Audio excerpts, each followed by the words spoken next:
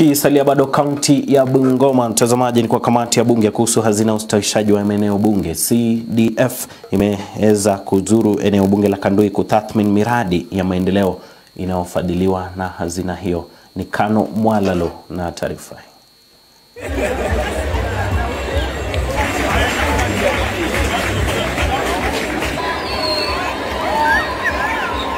Kutokana na idadi kubwa ya wanafunzi katika shule ya msingi ya Moi DEB, kamati hiyo imezindua ujenzi wa madarasa manane ili kupunguza msongamano wa wanafunzi huku wakiahidi kuongezea hela ili kufikisha madarasa manane. Tumekuja kuangalia miradi ambazo ameanzisha kupitia kwa CDF na tumefurahia.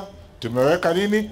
Sisi kama wakurugenzi wa board, kazi yetu ni kuangalia pesa ya CDF imetumika vizuri, ambapo CDF tangu iletwe ndio imefanya kazi katika mashinani ya Kenya yote, Kenya yote, hata imeshinda ile pesa mingi ya kaunti ambayo inaletwa.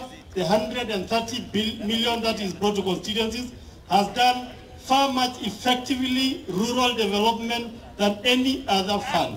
Kamati hiyo imepigia debe hazina hiyo ikisema miradi iliyofadhili inaguzia zaidi masuala ya elimu.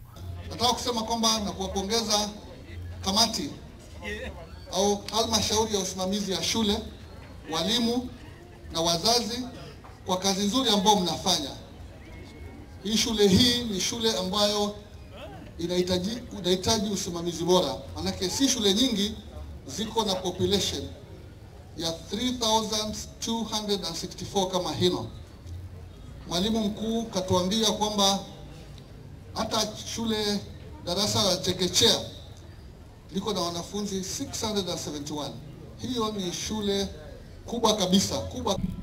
Tuongeze madarasa kwa hii shule so tuwe na mahali ya watoto kusomea, watoto wasikuwe na shida, wasikuwe wanafinyana, wasikuwe overcrowded katika darasa. Hiyo mimi nasema asante sana. Endelea huwa subisia, tutaendelea kusaidiana. Nizamwe nendaronda iko maromelekano gazeni wame wajakurera nitafuata mwenyewe. Kamishina wa kaunti ya Bungoma Samuel Kimiti ameandamana na wabungo hao akiwataka wazazi kuwalinda wanao kutokana na mimba za mapema na uuzaji wa bidhaa mjini. za wazazi, kwa sababu mmefunga shule, mwangalie watoto wenu sawasawa sawa na muhakikishe ya kwamba waza, watoto wanaangaliwa.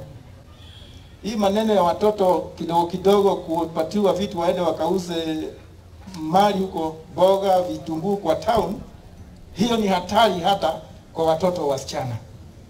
Ningetaka kila mtu, kwa sababu mnaona serikali inaleta pesa kwa CDF kwa shule, muhakikishe watoto wenu wanasoma sawa sawa na muwasomeshe ndio waweze kuwa kama sisi wakubwa siku zijazo. Na ya mwisho, kila mmoja tuweke amani.